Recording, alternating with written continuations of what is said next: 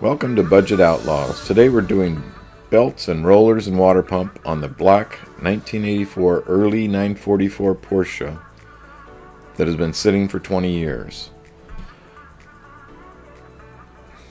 We'll be doing a water pump update that includes a different roller, water pump, and not to not to miss the timing cover mod that nobody seems to mention is necessary when doing this update. Did you see the opening picture? There's a reason we didn't start this car when we bought it. It would have broken the belt, bent the valves, and maybe more. Thank goodness we were listening to our inner selves. The recommended interval for changing belts on a 944 is between 30 and 60,000 miles or 5 to 10 years. yeah, I made that up, but it's somewhat close.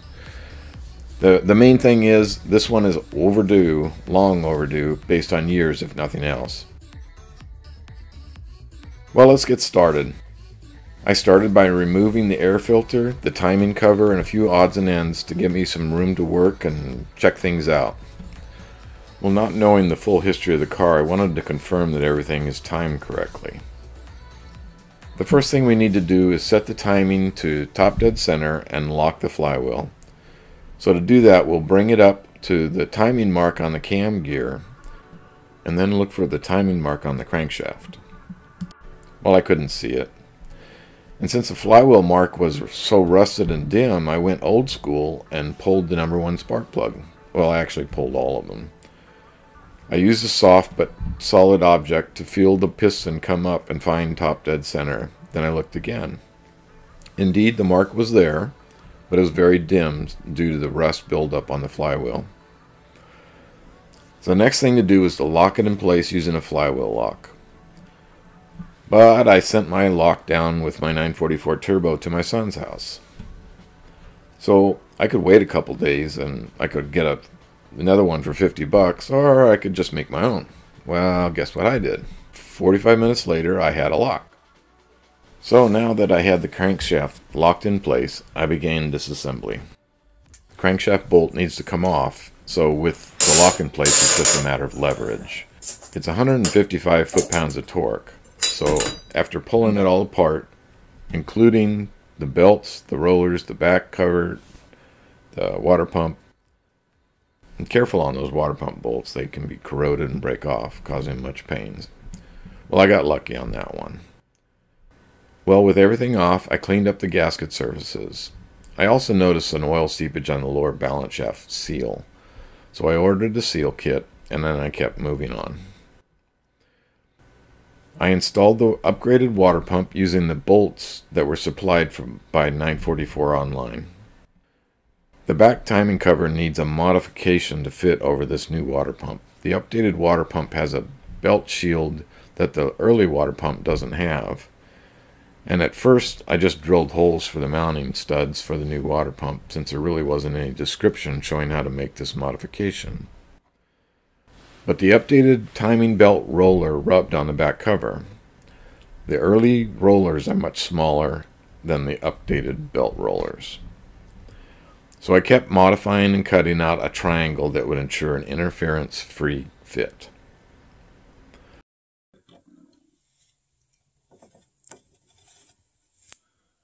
Get clearance all the way around that pulley. Clearance all the way around that boss. And then on this boss,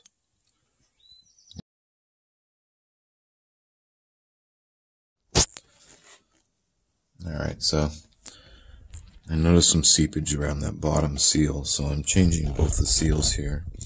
Before I go and order them, I want to see what the shape of the surfaces that they ride on.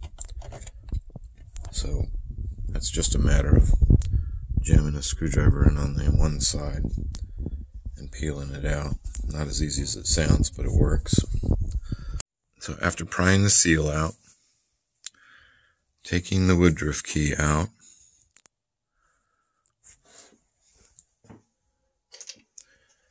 and then prying this I don't know what they call that. That's a race of some sort. It's really the surface that the seal rides on. And if you can catch a ridge with your finger, you pretty much assume that it's bad. The good part is that they're all available. So we'll order that kit. That'll include that seal.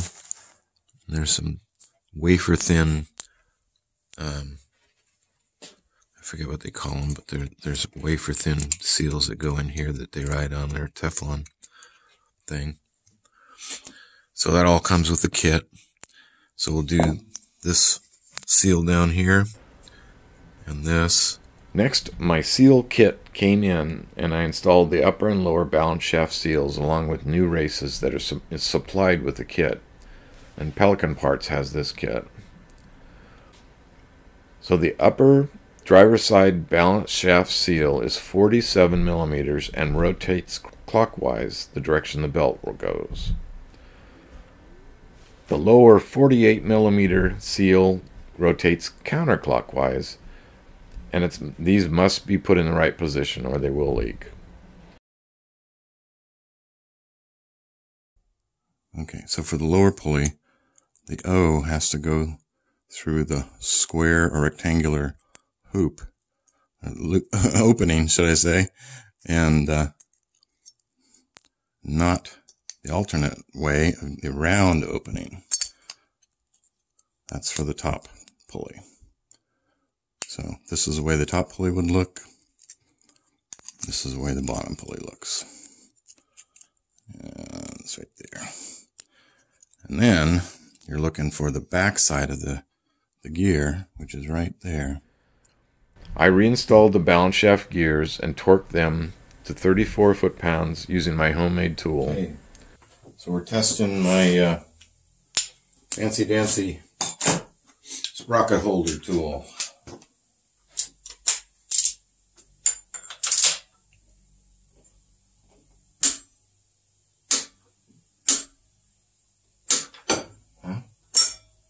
pretty good on that one.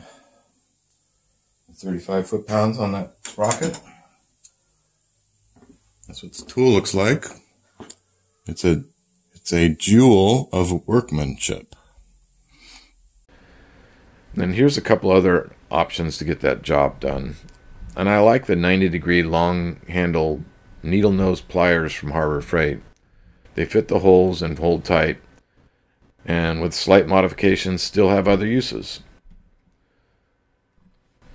Well then I was finally ready to install belts and rollers. Here we're looking at the belt routing diagram, and for info like this, I recommend clarksgarage.com.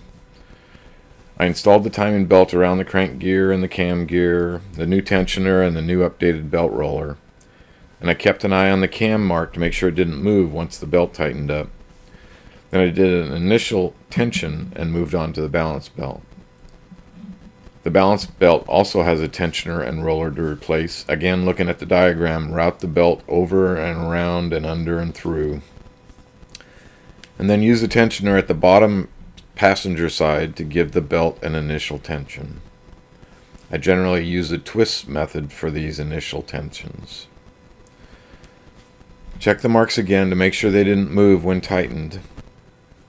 Remember the O isn't the mark, it's the notch in the back of each of the balance shaft gears. Once you have confirmed the timing marks are correct for both the timing belt and balance shaft belt, and that the tension is sufficient, you can unlock the flywheel and rotate the engine at least two turns of the crankshaft. Go slow at first, and if you encounter any resistance, stop. Bring the cam gear up to top dead center again and then check the marks. If it all looks good, it's time to set the final tension. And there are several methods. Using the Porsche factory tool, there's a Krikit tool that I don't really recommend, Arnnworx tool, and the old twist, half a turn for the cam belt, and one turn for the balance shaft belt. But this is somewhat subjective due to the finger strength. I've used all of these versions with success. I picked the Arnnworx tool for quality, price, and accuracy. I've been using various versions of this tool over the years, and this one, 920X version 6.1, is certainly the best. So, as I suspected, the uh, camshaft is a little tight, but I need to take the tension off the off that side of the belt. So that's the next step. That's now they got the thing in their place. Using the instructional videos from Arnnworx, I set up the tool on the timing belt and adjusted the tensioner to the specs as instructed. Then I moved on to the balance shaft belt. Okay, so we're at the point of uh, uh, tensioning the balance shaft belt. You notice that the, the, the gear is just a little bit off. All the slack is on this side. But I wanted to show you this, is that there is a possibility tightening this belt by turning it to the left as well as turning it to the right. And you can see the difference in what it does to that lower connection of this. So makes it much less likely to slip. And that was the intended direction. So in other words, that you don't want to do counterclockwise. You want you want your tightening to be clockwise on this lower balance shaft bolt. Yeah. This was one of my faux pas in the in the past. Learn by making mistakes. So there's a snug tension on it. Then we'll set that in a minute. I want to go ahead and put the gauge on it and set that tension.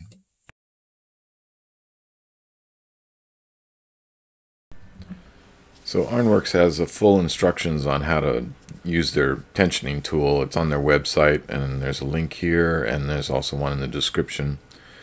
Make sure you read it and watch the videos real careful. That does a great job. And then we're going to also do a little diagram here on how to do the feeler gauge and set up that roller. So, uh, and we'll go into it a little bit in this next segment. So now that we have the balance shaft um, tensioned and the roller is torqued and it's still checked correctly, the last thing to set is this pulley, the idler pulley for the balance shaft. And that is done with a feeler gauge, half a millimeter feeler gauge. And you basically just slide it in and out. Now it's just a tad snug. Okay, well, it's time to put the rest of it back together. I installed the new radiator hoses, accessory belts, as well as oil and filter change, trans fluid change. Connected the wires up to the oil pressure switch that I had to disconnect because they were wrapped around the old water pump. And I also changed out the radiator fan temperature switch that was leaking. I reinstalled the spark plugs, installed the cap and rotor, and connected up the spark plug wires. Finally, I'm ready to start the car for the first time in 20 years. Wank, wank, wank. No go. It seems like there's some gremlins still hidden in this beauty. No, the belts are fine, and there's something else keeping it from starting. Find out on the next episode. Same bat time, same bat channel.